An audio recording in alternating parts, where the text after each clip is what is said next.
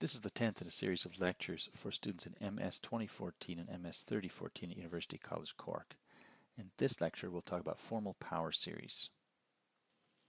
Recall from um, calculus that we have expressions for functions like this the sine of x is x minus x cubed over 3 factorial plus x to the fifth over 5 factorial plus da, da, da, da, an infinite sum of terms adding up to the sine function. This is a, a power series or a Taylor series.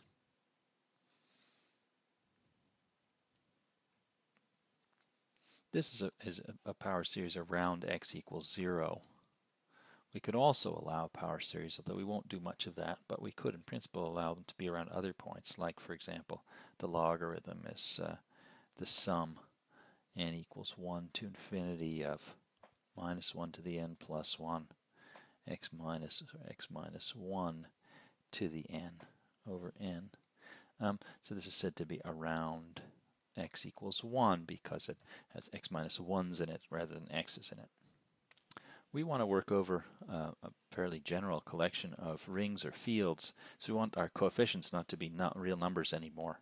And to make sense out of that, we're going to have to just ignore convergence because we don't really have a notion of converging in arbitrary fields or arbitrary rings. So for us, a formal power series, formal meaning ignoring convergence, um, is just a, an infinite sum of, of powers of x with coefficients. Or we could allow powers of x and y, sums of expressions, let's say c, p, q, r, for example, x to the p, y to the q, z to the r in variables x, y, and z, or more generally in any number of variables, any finite number of variables, where coefficients here, and this will be a sum over values of p, q, integer values, let's say positive integers, um, they'll always assume they're greater than or equal to zero, the, the, the numbers uh, that are used as the indices, and these coefficients, um, they can come from any ring in some ring R. Again, we don't require this sort of expression to converge because the, the word converge doesn't even make any sense here um, in an arbitrary ring. Um, it might make sense if they were real numbers or complex numbers, but it doesn't make sense for an arbitrary ring because we don't really have a notion of how, what it means for to have convergence in, in a ring. But even for ordinary um, numbers, this gives rise to new objects because we're allowing these to be just formal sums. We're not actually adding them up. Really, we're just allowing x, y, and z to be thought of as abstract variables, and we're just writing an expression in front of some powers of x, y, and z. So for example, over the rational numbers, we can consider a, a sum like 0 factorial plus 1 factorial times x plus 2 factorial times x squared plus 3 factorial times x cubed plus dot dot dot dot dot. And you can see that this doesn't converge um, in the usual sense of convergence in, say, real numbers. Uh, it converges only at x equals 0 because it has too rapid growth of the, of the coefficients to make sense out of convergence anywhere else. Um, but nevertheless, it's still perfectly good for us. It's fine for us. We don't mind that things don't converge. This is a perfectly fine formal power series. It's not a convergent power series, but it's a formal power series in that we just write down some powers of x, infinitely many of them, and a coefficient in front of each. And more generally, we could have powers of x, y, z, or any other variables we like. Um, the powers have to be positive integer powers or zero powers, um, and then coefficients coming from some ring. And that's fine. There's no need for any, any requirement of convergence. So if we have more variables, any collection of variables, say x is some x1 dot, dot, dot xn, then we can take uh, uh, our in our we can take some uh, exponent to consist of a bunch of integers, or where these are all all the alphas are greater than or equal to zero integers, and then we simply define x to the alpha to mean x1 to the alpha 1 times x2 to the alpha 2 times dot, dot, dot times xn to the alpha n. And that way we can make sense out of expressions like um, a, a, power series being a sum c alpha x to the alpha for many variables. The set of all formal power series uh, over a ring R is going to be written as R of x where x is a variable, or where x is, for example, maybe a collection of variables. If, we're, if we make clear that it's actually given by some list of variables, we can write it like this. So remember that polynomials were written with one set of square brackets, and now we use two sets of square brackets for the for the the um, for this collection of power series, formal power series. We could also write it by writing out the variables.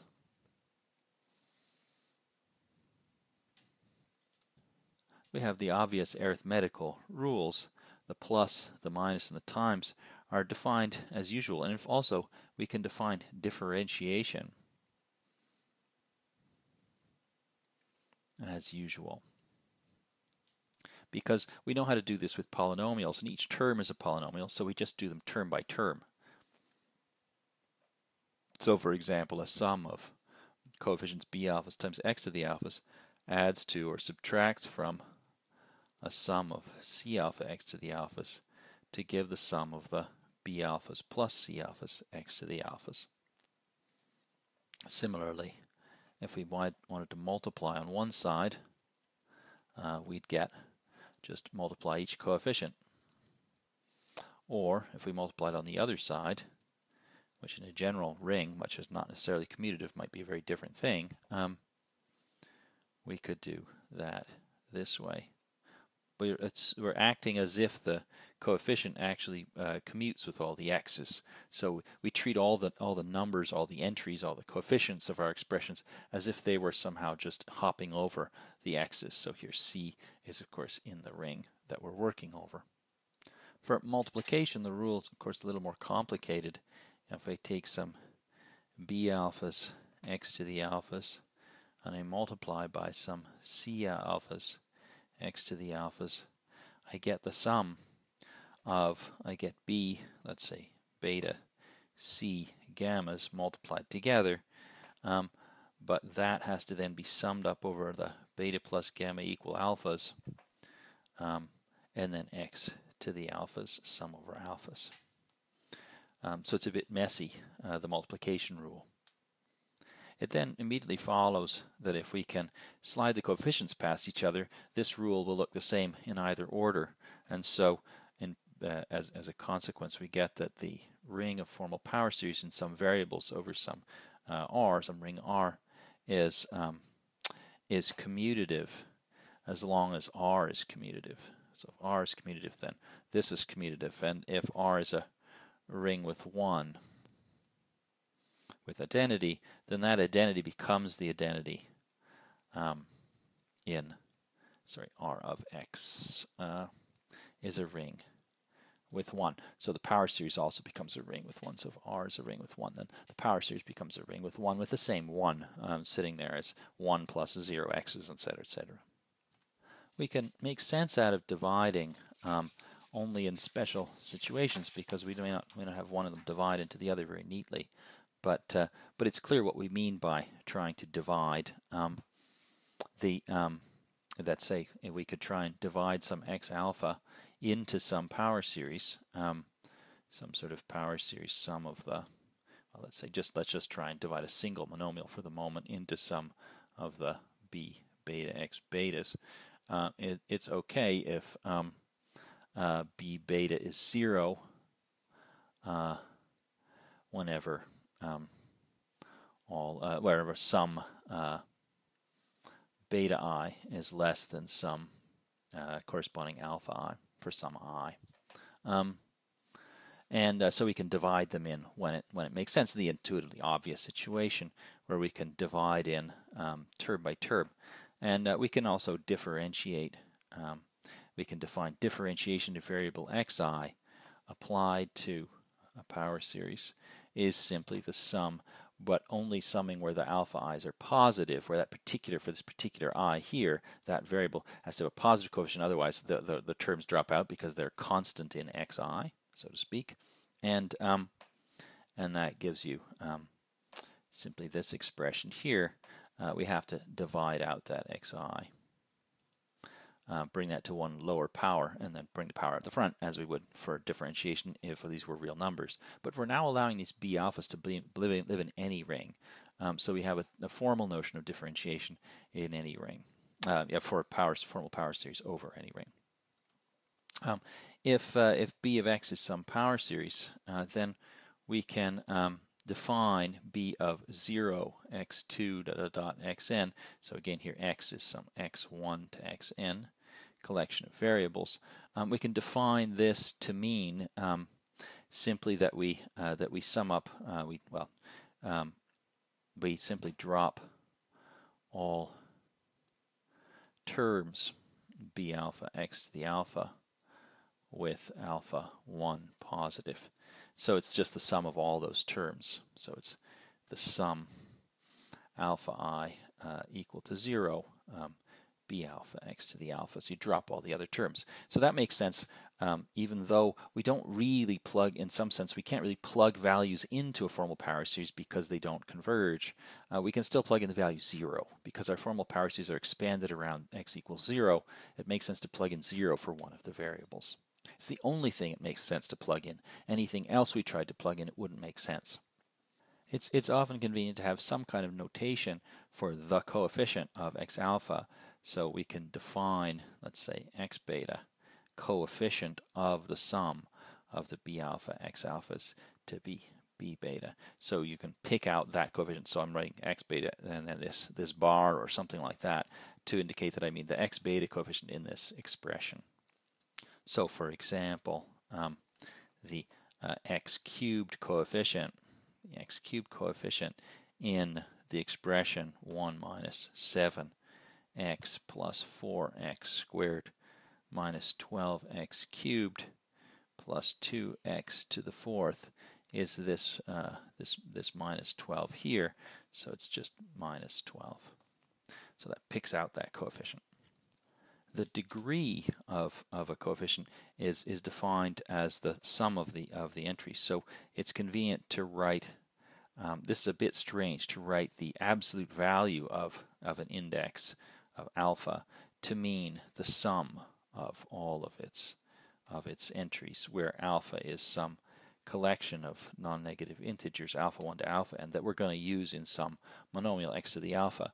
This is the, the total degree, or degree, of x alpha. So that's how we count degrees. Um, so for example, if we look at something like um, x to the fourth plus x cubed y plus y to the ninth. Um, this term has degree 4 because it's got 4 x's in it. This term has degree 4, total degree 4, because it's got 3 x's and a y. So you add up how many of each. And this one has, of course, degree 9. One thing we can do now that we have these objects uh, at hand, which we didn't really do before with just polynomials, is to look at infinite sums. Now again, we don't know how to deal with convergence, so it's going to be very unlike the infinite sums in calculus where we added up things uh, by trying to get them to converge to something. In this case, what we're going to do is just take formal power series and try and add up infinitely many of them. But we, we don't have any notion of convergence, so how can this ever be defined? Well, it's fine as long as um, it's defined as long as each um, xj uh, or sorry, each fj of x has a degree uh, of its lowest term, well, lowest degree term, degree of lowest terms, degree terms, um, going to infinity with j. So uh, it starts with higher and higher and higher degree terms. Um, so we can, for example, look at um, uh, something like 1 plus x plus x squared plus x cubed plus dot dot dot dot. dot. Uh, that's our first function, and then add to that function x plus x squared plus x cubed plus dot dot dot dot, and then plus another function which is x squared plus x cubed plus dot dot dot dot plus and so on. And that makes sense as an infinite sum because there's only a single one, a single constant coefficient. There are two x's, uh, there are 3x squared, so there are two x's, 3x squareds, and so on. There'll be four of these x cubes and so on and so forth. So that's perfectly well defined because at each order, at each degree, we only had to add up finitely many terms, and then they then terms ran out, and then finitely many of these, and they ran out. Finitely many of these, and they ran out, and so on. So it's okay to have infinite sums as long as the uh, the degrees of the lowest terms get larger and larger and larger. The same holds, of course, for infinite products.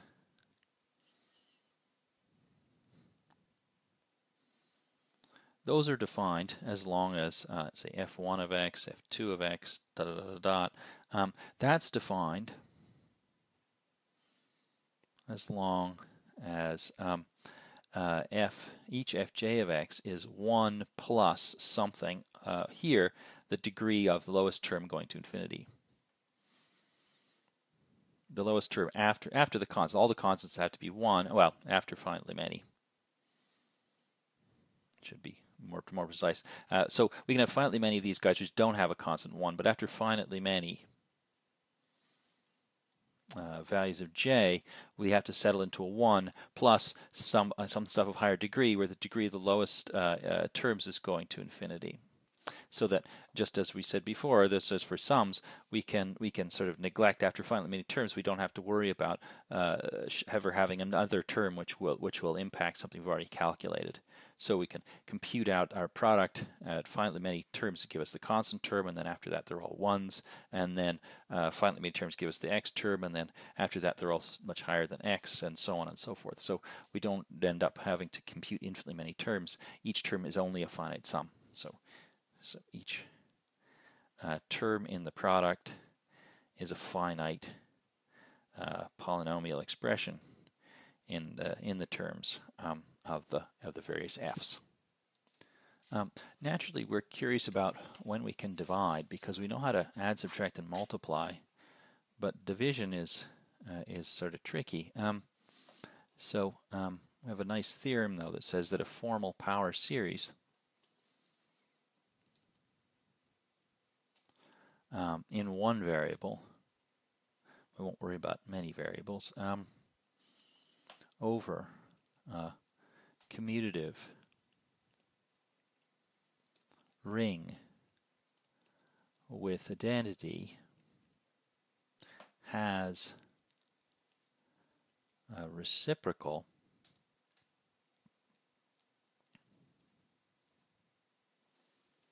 formal power series over the same ring, um, if and only if, if IFF, if and only if it's um, constant term, that is to say the zero power of x term, um, is a unit in the ring.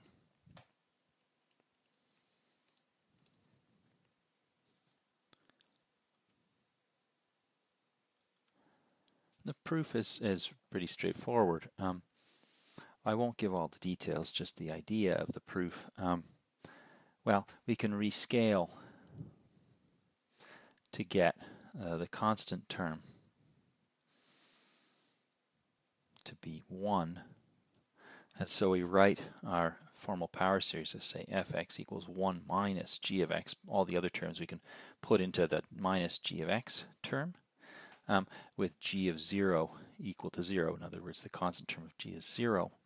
And, um, and then we know that, um, well, I leave you to prove actually that in any, it's a nice exercise, that in any um, uh, in any commutative ring with identity, 1 minus x times 1 plus x plus x squared plus dot dot dot dot um, is uh, is 1. Uh, again, that's a nice exercise for you to check that um, expanding out the multiplication gives you this result. Um, and then we just plug in. Uh, replace x's by g of x's, and you get 1 equals 1 minus g of x is just f of x. And then these become 1 plus g of x plus g of x squared plus dot dot dot dot. That's not a complete proof because we didn't really explain how exactly is this plugging in working. Um, bit we're not completely clear that how that this last step works exactly, but it is clear that intuitively that if you put g of x in instead of x, you'd expect that to work. Um, so I leave you to, to, to, fill in all the details. So um, we can also try to compose these these uh, these these objects It's something else we haven't really thought about. We've had rings which didn't have um, any infinite sums, infinite products. They also didn't have any kind of composition. If you have a polynomial uh, y equals f of x and then a polynomial uh, z equals g of y in, in, in abstract variables x and y, you can of course form the polynomial z equals g of f of x by composing them. And uh, it's clear that the, the degree of the um, of the composition, g composed with f, is the product of the degrees.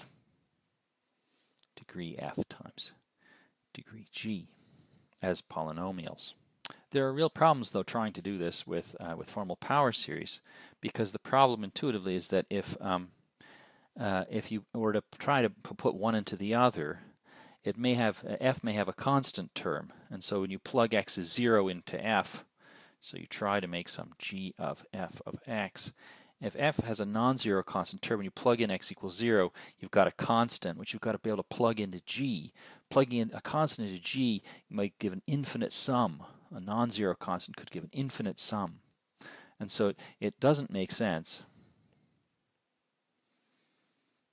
uh, without worrying about about having some notion of how to how to get things to converge. It doesn't make sense unless either um, g is a polynomial, then we can actually plug anything into it, or um, f of 0 is 0, in which case we don't have to worry about that constant term. When you plug in f of 0, x is 0, you wouldn't have to worry about having an infinite sum of numbers rather than powers of x. So that's going to work. Okay, um, if that works, then then we can actually just plug in term by term. Um, so we get uh, term by term uh, plug in and uh, uh plug in and expand. Plug in and expand. Expand it out, and you can see that you just get a, a meaningful uh, composition term by term because the term of each of each degree comes only from terms of of the same or lower degrees in the in in in the in the F and the G. Um, so you can't have trouble with um, very low degree terms giving in, uh, appearing infinitely often over and over again. Uh, we don't end up with that with the problem of, of, of infinite expansion of this uh, of one of the terms in the in the composition. It only expands finitely many times to see that, just note that f, if it has f of 0 is 0, f of 0 is 0 implies that there's an x in each term. At least let's say if it's a one variable polynomial in a, and a variable x, um, it's going to have an x in each term, and that means that when you plug, when you expand out g of f of x um, as a sum of coefficients of g, let's say, um, let's say some coefficients cj, um, f of x to the j, you're going to have at least an x to the j here inside this because you f of x has an x in each term. This has at least an x to the j in each term. And so there's only finitely many terms that, that, that, that have to be added up to give a particular result. There's no problem with this thing um, at any, any finite stage that only finitely many terms can contribute to to a particular um, to a term in the in the composition. Let's just see a simple example of calculating it out. Um, if you look at uh, our favorite exponential function, we can define this by the following expression, just 1 plus x plus x squared over 2 factorial plus x cubed over 3 factorial plus dot dot dot dot, dot. and it makes perfect sense as long as um, as long as all the and let's say any commutative ring will mostly work just work with commutative rings. I don't want to worry too much about commutative ring which has to have a 1 because of this. I don't want to worry about non-commutative rings. Um, and also in which uh, all um, uh, factorials have reciprocals.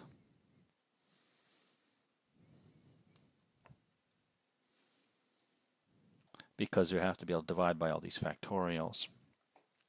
Um, for example, the rational numbers work perfectly fine.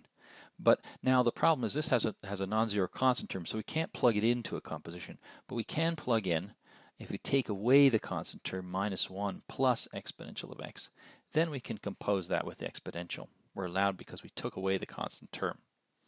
And what happens with that? Well, the expansion for exponential is 1 plus this guy, the input to the exponential, um, plus uh, the same input,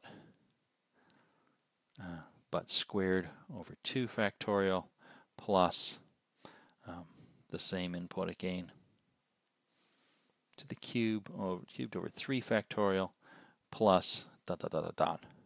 And I can expand out each of those now by plugging in um, this exponential uh, with 1 taken over it becomes x plus x squared over 2 factorial plus dot dot dot dot.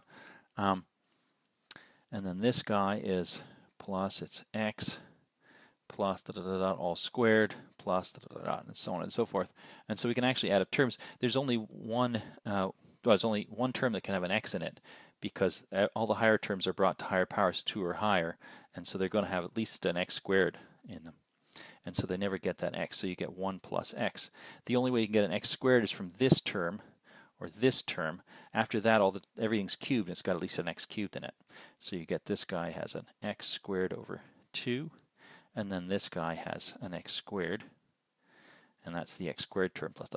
So you can see how you can calculate it out step by step, order by order, all the way, and you never run into any term that has to be infinitely summed because you've always got a squared here, a cubed here, and so on. The terms are getting higher and higher and higher, so they become uh, negligible for calculating out any finite order. Eventually you can neglect all but finitely many of the terms.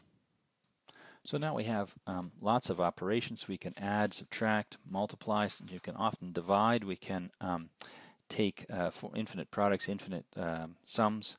What we wonder about is what about square roots or nth roots? Um, so let's take an example. Um, if we take a, a series, a uh, not a1x plus da, da, da, dot, and try to and multiply it to the n over some commutative ring with identity, let's say, let's say over some, so assume it's in a commutative ring, with identity just to make things a little bit clearer, less confusing.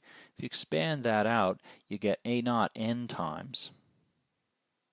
And then uh, the there are products of this guy times this guy. Um, so there's n, uh, choose one ways of multiplying that by that, a naught to the n minus 1 a1x.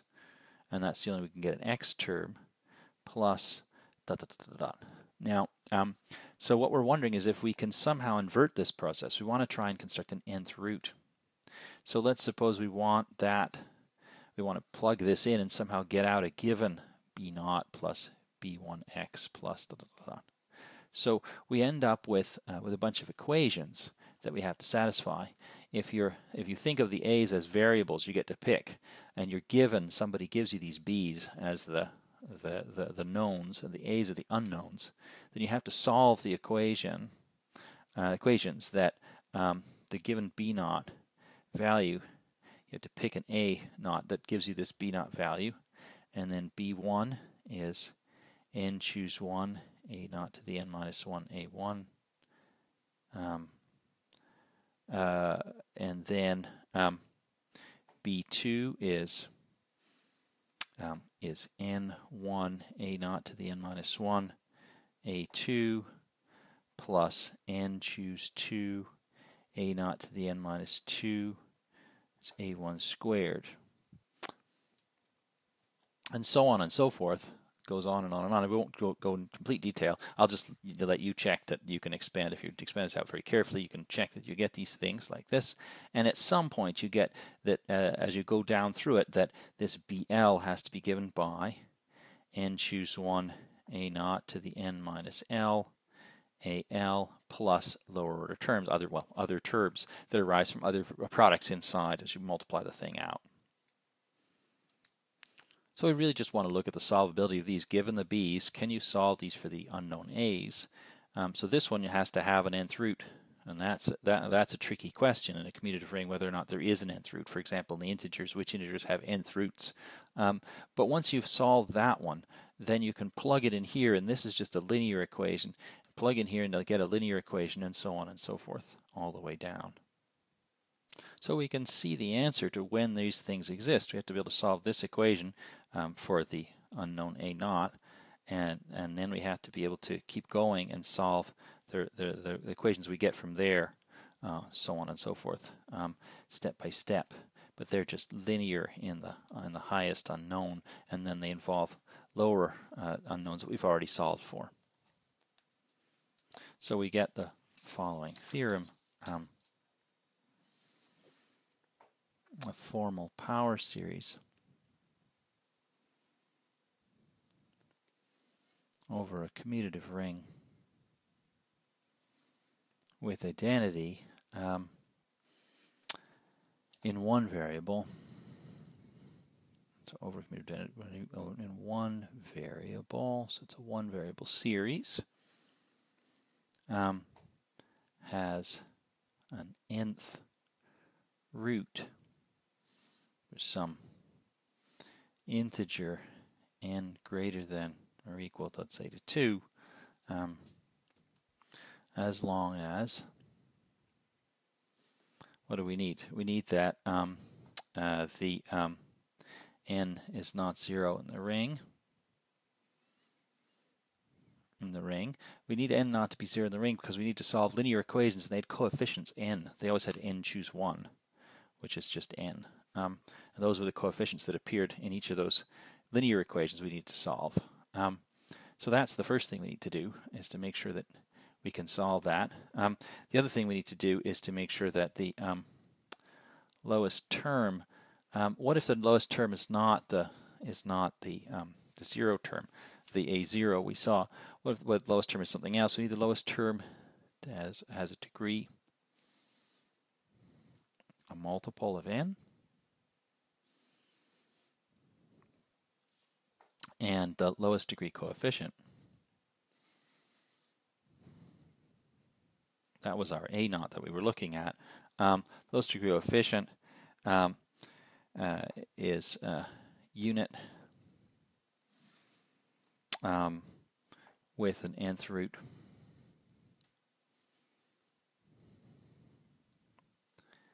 in the commutative ring. Well, let's say with an nth root in the ring. Um, uh, okay, so why does that why is that going to give us everything we need? Um, well, if we had we said the lowest term should be multiple of n, so that means that our um, our um, expansion looks something like um, a, um, a multiple of n. Let's say k times n, and then the next term will be the same thing plus 1 plus dot, dot, dot, and that means we can rewrite this as x to the k to the n times b naught plus b1 x plus dot dot dot. And then we go back to what we just wrote about when there was when we could solve those equations. What we needed is to make sure that we could um, that we could um, take a, an nth root of this guy and that nth root had to be a unit so that we could divide off by it the linear equations that we generated from there on. And that's it and this guy already has an nth root. So we just had to make an nth root for that guy to make an nth root for the whole thing. In fact, if you're very careful about the story, you can actually see that the number of different nth roots, um, number of nth roots of this um, of this uh, of let's say b naught plus b1 x plus dot dot dot is uh, the, is just the number of nth roots of the B naught term, um, where we assume again this is a this would be some uh, unit which has an nth root. Um, the number of different nths, each each choice of the nth root for this B naught term actually gave us a different answer. Um, so we constructed different nth roots out of the different um, different choices because at each step all the way along we used a, a different nth root a naught for this guy to generate all of our terms. But that was the only choice we made, uh, was that answer because after that all the equations were linear equations, and so they had only one solution each. We can um, make a, a, generalization of this result, um, a much stronger theorem. Um, if we look at, um, so let's suppose if, um, so P of x and y is a, a formal power series, so not a power series, but a formal power series. in two variables over a commutative ring with one.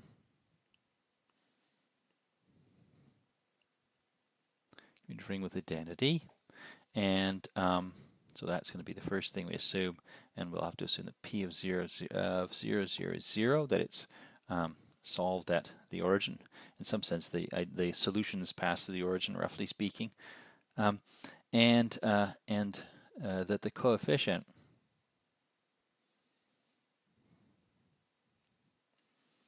of y, the pure y term, the linear y term, is not 0 and a unit. Then um, uh, we can solve the equation 0 equals p of xy for y uh, equals y of x, a formal power series. In other words, we can find a formal power series we can plug into the second guy, and and term when you expand it all out, term by term, they all they all satisfy. All the terms are just zero. I won't give a complete proof, just the idea of the proof. Um, first of all, that you can, um, well, uh, you can rescale uh, because the uh, rescale because we said that the y linear term was non-zero unit. You could rescale to get um, y term to be minus one in your ring, the the negative of the unit. Um, and so you can write p of 0 equals p of x and y. You can write as 0 equals um, minus y plus something of x and y, which has no linear terms. And then um, you can write that as y equals q of x and y. And again, q has no linear terms. And then all we've got, got to do is to try and plug in. This is done in great detail in the notes. Um, plug in some uh, series, some formal power series y is some a naught plus a1, sorry, a I want to do a1x plus a2x squared plus dot, dot, dot, dot. You plug in a, uh, a formal power series. Um, and after we want, want the solution that goes through the origin, so to speak. We were intuitively saying that this equation, p of xy is 0, was supposed to be satisfied at the origin. So we're going to try and make one that goes through the origin that satisfies this. So I should probably have said this in here. Um, y zero. Zero is part of our assumptions. Um, so we can solve this by plugging in, and what we find is that each term that sit, that gets plugged in here also gets plugged in here. But because this guy has no linear stuff, everything's nonlinear. It means that every term has at least um, uh, either some x's or some or, or, some xy's or some y's going to, to some higher order. It means that a term of given order here um, is expressed in terms of terms that are, came from lower order uh, expressions in y that are multiplied up by the nonlinearity to, to, to raise them up. And so, in other words, you can recursively solve for each term here in terms of a nonlinear expression in lower order terms here. Um, so each coefficient of y pops out expressed in terms of lower order coefficients here. So I won't do that in detail, but that's the idea of the proof there is, of course, a, a, kind of equation we don't get to solve this way. Um, for example, we could ask if we could solve an equation like x squared equals, um, sorry, x equals y squared for y. Um, what happens there? We were saying in this uh, theorem that you needed a, a, a non-zero linear y term. This has no, this has no linear y term. It starts off purely nonlinear. Can we solve it? And I'll leave you to check if you try and plug in any any expansion y is some a1x plus da da da da into here that it just won't work. It won't ever give you just this pure y term. Let's say this uh, x equals y squared won't work because all the terms here have an x in them and so all the terms in the square have an x squared in them and so you're not going to get a pure x and so it's not possible. Um, so there's no solution like that. So what can we do if we want to solve equations that involve uh, something like this? Let's suppose we um, take a formal power series. So here's a theorem. Um, so we take um, a formal power series x equals a1y plus a2y squared plus dot dot dot dot. Um, and uh, so whose um, first non-zero term, let's say an, suppose it starts at an, this is our non-zero guy, has an nth root.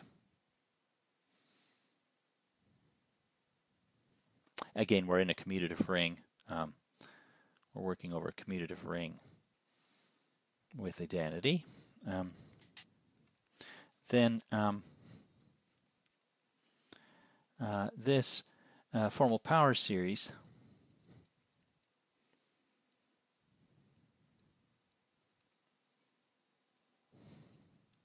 has a formal inverse function.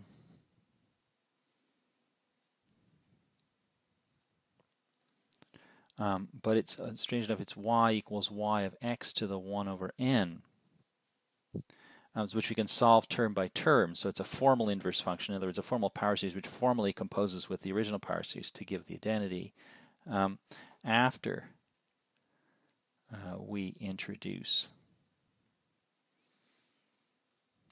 um, some x to the 1 over n to be the remainder of z we mod out by z to the n is x, or sorry, by z to the n minus x, polynomial in two variables.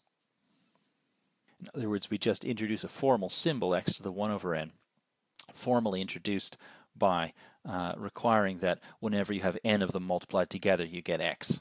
So that's a just a formal symbol we can introduce into the story, and then uh, once we have that, then we get a formal inverse function. And there is um, one such for each um, nth root of this a to the n. Each choice of an nth root for this uh, for the for the first uh, term that we come across that's not zero. So the proof for this result is um, it's very straightforward. Um, we just uh, let um, well let's let's let um, b naught be um, uh, be any nth root of this a n. And again, we introduce introduce an x1 over n, as I said, as a formal symbol, so that when our n of them multiplied together, we get our uh, we get a, a x. And um, and then we'll just apply the uh, our, our theorem um, uh, to get an nth root um, of, uh, so we get some nth root of 1 plus an plus 1 over any plus an plus 2 over any uh, squared plus dot dot dot dot. Um, equals, let's call it uh, 1 plus b1y plus b2y squared. Blah, blah, blah, and we know that we have, our previous uh, results showed us that when we had these, these roots, so we have this root, there's no problem there uh, in constructing our root.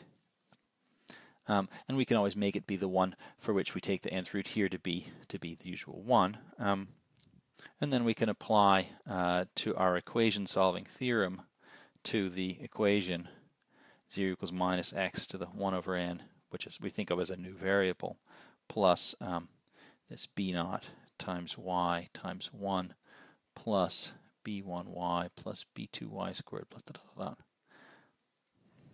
Because this equation just expands out into saying that x is then a n y to the n plus a n plus 1 y to the n plus 1 plus da, da, da, da, and so on. So that solves the the um, for our, that solves for our root. In the next lecture, we'll talk about resultants and discriminants.